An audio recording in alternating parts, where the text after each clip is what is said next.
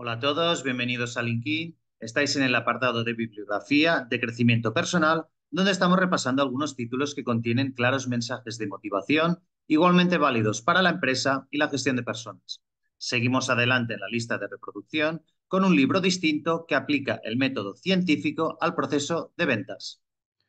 El autor empieza destacando la importancia de las ventas en un mundo donde todos son commodities, es decir, productos intercambiables poco diferenciados. A continuación, nos define las neuroventas como una ciencia que estudia cómo afectan los estímulos de un discurso comercial al cerebro. En este análisis se mide la actividad neuronal y otras variables como el ritmo cardíaco, la sudoración o la temperatura corporal. La tecnología empleada permite precisar hasta qué palabras, conceptos o entonación generan una reacción positiva, lo que permite adaptar el mensaje y ser más conciso. En el caso de una compra compleja o impulsiva, los motivos del cliente no están muy claros. Según los datos que proporciona el autor, hasta el 85% de la decisión de compra es inconsciente, por lo que el vendedor tiene mucho margen para influir. Así, el cerebro que manda en el proceso de venta no es el racional, sino el reptiliano, por lo que el discurso efectivo no es el técnico, sino el que apela a instintos y emociones con una comunicación básica. El proceso de venta se compone de los siguientes pasos. Segmentación. Identificar las características del potencial comprador. Los mensajes deben ser distintos según el sexo, la edad o la actitud. Pensar en el valor simbólico que lleva a esa persona a la compra.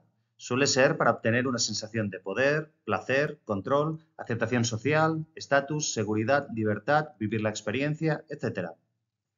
Identificar qué posibles miedos presenta el cliente. Prestar también atención a sus carencias o al malestar por los problemas no resueltos. Lograr atención. Partir de un producto o servicio existente, no de algo totalmente disruptivo, ya que la mente debe anclarse a algo conocido y mostrar sus elementos novedosos. Conseguir una asociación emocional positiva con el cliente, establecer contacto visual, sonreír, utilizar el lenguaje corporal y estimular sus sentidos mediante música, aromas, iluminación, contacto con el producto, etc. Debemos escuchar y dar la razón al cliente, comprender su situación, resolver las posibles dudas y ofrecer soluciones con distintas alternativas para que el cliente pueda comparar y elegir. Es importante no abrumarle, sino hacerle sentir inteligente y satisfecho con la compra.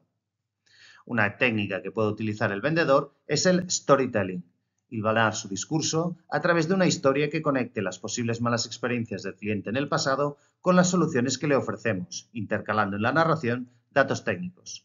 Vemos pues que el objetivo es empatizar y llevar la relación hacia lo personal.